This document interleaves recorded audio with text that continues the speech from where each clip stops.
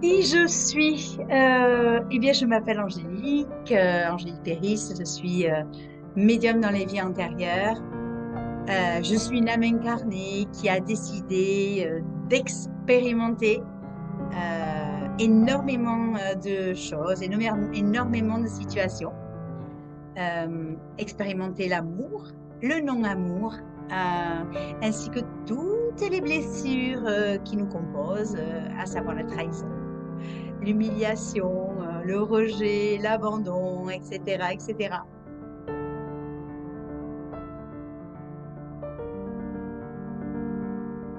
Comment je suis devenue médium de vie antérieure? Eh bien, euh, à force de travailler sur moi, à force d'enlever euh, toutes ces peaux qui recouvrent l'oignon que je suis, eh bien, je me suis de plus en plus ouverte à mes capacités, à mes possibilités. Et j'ai euh, mis quand même euh, beaucoup de temps avant de comprendre mon mode de fonctionnement parce que je suis quand même visuelle et moi je cherchais à voir avec les yeux et pas avec euh, mon âme. Donc du coup j'ai mis hyper longtemps avant d'être vraiment celle que je suis aujourd'hui. Mais en allant de plus en plus vers mon intérieur, en euh, travaillant sur moi, j'ai euh, réussi euh, à être en contact, à me reconnecter et être en contact avec ben, quelque chose de plus grand que moi. Et ce qui me permet justement de pouvoir rentrer dans les vies antérieures quand c'est nécessaire. Ben, je parle de vie antérieure, mais ça peut être aussi tout ce qui est transgénérationnel.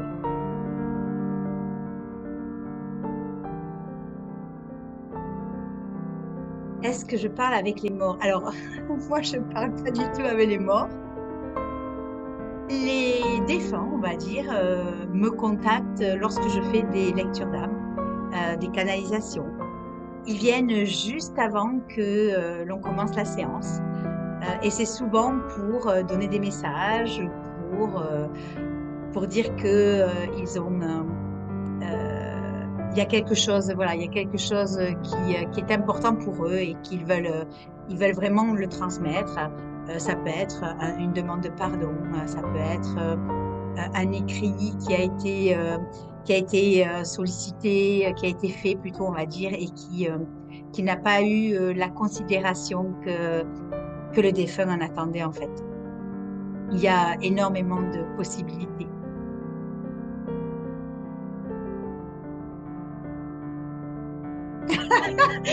Non, je prends pas encore de plantes euh, hallucinogènes, mais euh, pourquoi pas un jour, je ne sais pas.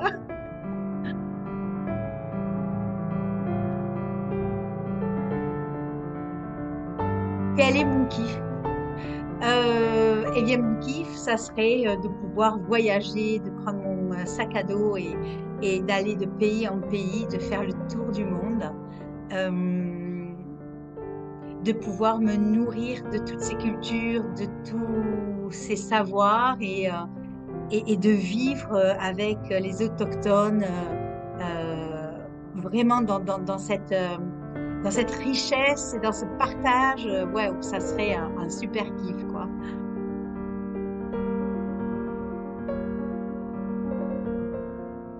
Alors, comment je travaille? Eh bien, en tant que médium dans les vies antérieures, euh, j'amène la personne euh, avec euh, une méditation guidée. Je l'amène avec moi, je la prends dans son espace. Et dans son espace, eh bien, il va se passer énormément de choses. Moi, je vais avoir la vision de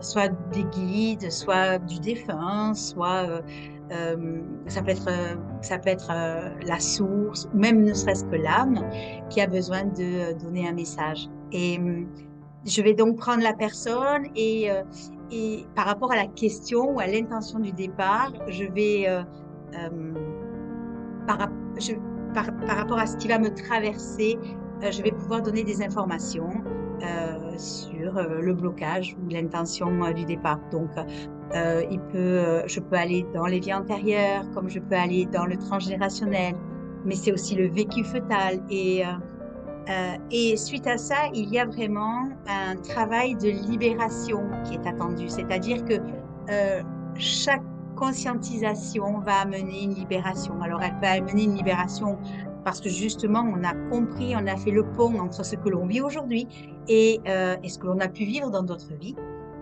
Euh, mais parfois, ces libérations, elles sont beaucoup plus intenses et euh, il va falloir couper avec, euh, le, passé, avec la représentation que l'on a été dans une vie antérieure. Donc, il y a une confrontation entre le moi présent et le moi passé où plein de choses vont être déposées sur le tapis, plein de choses vont être dites, conscientisées, acceptées ou pas.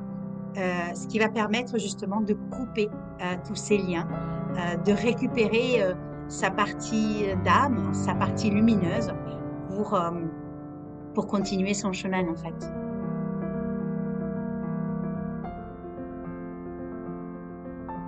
La chanson qui m'a accompagnée en 2023, c'est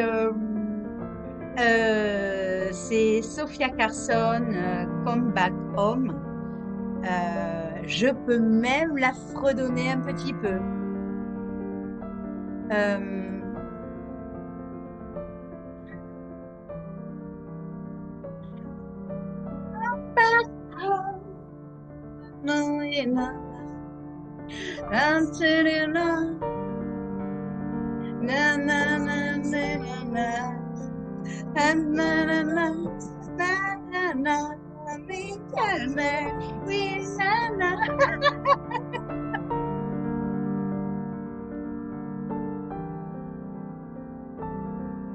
Brocoli ou frites Oh ben sans hésiter, euh, frites.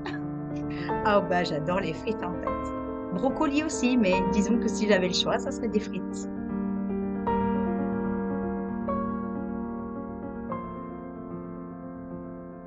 Pourquoi on vient me voir? Eh bien, on vient me voir tout simplement parce qu'on a un blocage, euh, on a euh, des croyances limitantes, euh, peut-être parce qu'il y a des problématiques transgénérationnelles, peut-être un problème de légitimité, on ne trouve pas sa place, peut-être qu'on n'arrive pas du tout à, comment dire, à se reconnaître déjà soi et être reconnu euh, par l'extérieur, un problème financier, matériel, euh, un problème relationnel, euh, parce qu'on a envie de savoir quel lien on peut avoir avec un frère, une sœur, un, patron, un amoureux. On vient me voir aussi parce qu'on a envie de se libérer de certaines chaînes transgénérationnelles. Euh, de certains mots euh, MAUX et peut-être mots aussi MOTS. Euh, on vient me voir parce que, ben, tout simplement parce qu'en fait, on a vraiment envie de se déconditionner de certains enchaînements. Et donc, du coup, les vies antérieures étant liées au transgénérationnel, eh bien, c'est pour ces raisons-là qu'on vient me voir. On vient aussi me voir parce que je travaille aussi à côté sur tout ce qui va être euh, euh, blocage, pas forcément que vie antérieure, pas forcément que transgénérationnel. Il faut savoir aussi qu'il y a des blocages, euh, c'est-à-dire qu'on va porter des mémoires de lieux, des mémoires, des programmes, des sauts, des implants, des entités, peut-être même de la magie noire. Euh, ça a toujours existé et ça continue d'exister, encore peut-être plus maintenant ou pas, je ne sais pas. Mais en tout cas, ça fait partie de notre quotidien, il faut le savoir. Les personnes envieuses, jalouses, euh, envoient souvent, euh, consciemment ou inconsciemment, des flèches. Et tout ça, ça va venir aussi bloquer notre avancée, notre évolution.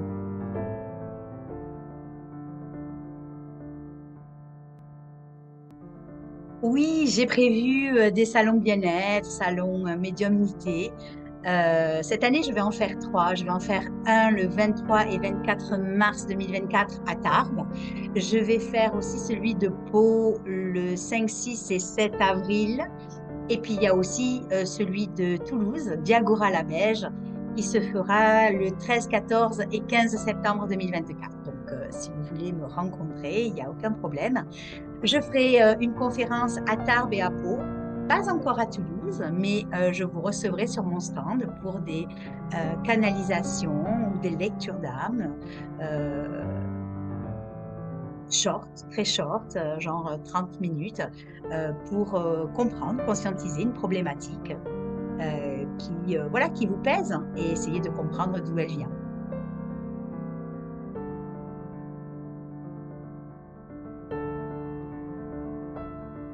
Qu'est-ce qui me met en joie? Eh ben, euh, Ce qui me met en joie, c'est euh, me lever le matin, de euh, voir des blagues que je comprends parce que je ne comprends pas toujours tout, euh, qui me font rire. J'adore rire, j'adore m'éclater, j'adore être en joie en fait. Voilà, ça, ça, me met en joie. Voir quelqu'un rigoler ou même ne serait-ce que de rire de moi-même, eh bien, ça me met en joie de bon, de bon matin. Et ça, ça, ça me permet de rayonner tout le reste de la journée.